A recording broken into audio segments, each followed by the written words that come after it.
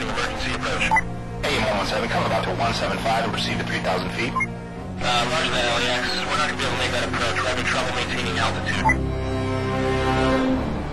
Shaping up to be a rough commute out there today. Watch for an accident on the 101 near Sherman Way. And we're just getting word that the 405 southbound has been shut down completely. Looks like some sort of police activity's got it cleared for a two-mile stretch from the 118 all the way up to Victory. As soon as we get more information, we'll let you know. But in the meantime, we'll get you through with another 40 minutes of your favorite hits on KPTV.